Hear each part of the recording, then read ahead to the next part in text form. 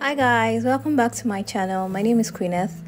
Um, apologies for being away for this long. I had some personal stuff that I really needed to take care of. So guys, I'm going to be replicating this trendy pant. So this video was recorded immediately I drafted that trouser pattern because I used the trouser pattern to make this pant but unfortunately I couldn't edit it and as such I lost some part of the video. So guys, here is two and a half yards of Mikado fabric. You can actually make it of three yards depending on how voluminous you want the lower part to be. That's the pleated area. So with the already drafted pattern, I just had to make little alterations. So I have cut my fabric using my pattern. What I just had to do was to add one and a half inches on both sides, like to the left and the right side of the front and the back, because you know that the pattern which we created for a fitted pant. So this is not supposed to be fitted. It's supposed to be a bit loose. Then I added half an inch upwards there for the seam allowance and also I had to reduce the length of the pant. I made it a pedal pusher. So the next thing I cut was my band which I measured 5 inches width and 32 inches long. That is the waist I'm working with is 29 plus 3 inches for my zipper allowance. So I'll be ironing and interfacing to the band to give it strength stay to be precise. Then I'm going to fold it this way when sewing so the next thing I cut was my pocket which measured 14 inches by 14 inches and I cut two for it. So the next thing I cut was the fabric for the lower part that is the pleat area. So what I measured was 60 inches long and 20 inches wide. That 20 inches, I'm going to be folding it into two, which is going to give me 10 inches. Why I'm folding it is because I do not want that hem line like the hem stitching on my pants. I just want it to look really seamless. So these are my two front panels. I'm just going ahead to mark the wrong size for mikado the front and the back they look alike and I do not want to make mistakes so that's why I'm marking it. So from the side of the front that is where we are going to be marking our pockets. So I'm just going to mark seven and a half inches from the waistline down then on the waistline itself I am going to be marking two and a half inches. So I lost a part of the sewing process for the pocket and if I upload the other parts you definitely don't understand it. So I promise that I am going to make a tutorial on how to make a trouser pocket.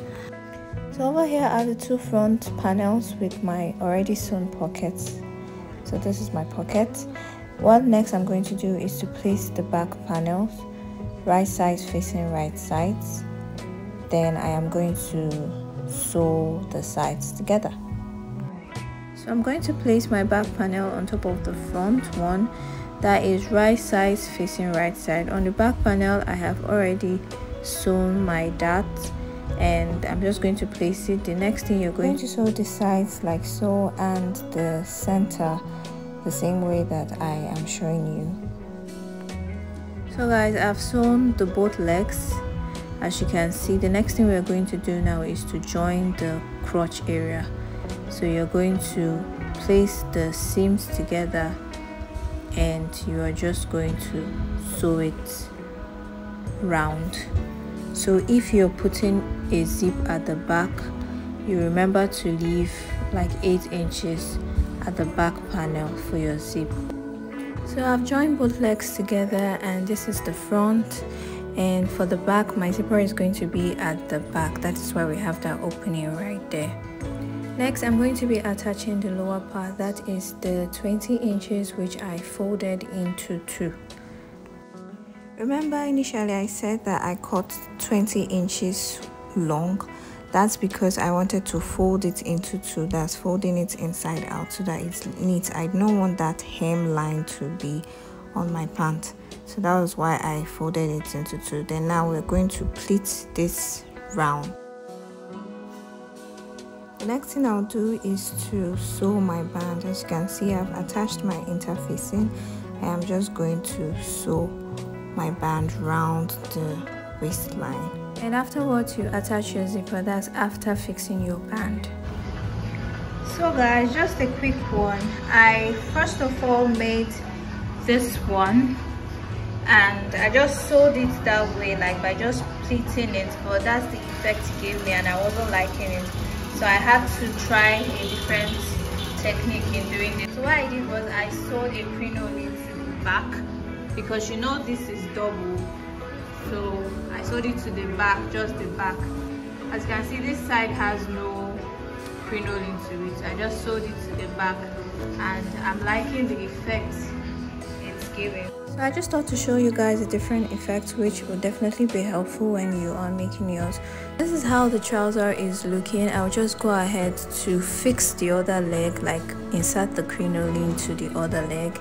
Then afterwards i would iron and definitely rock it. Yes so guys see you in my next video. Thank you so much for watching. Bye.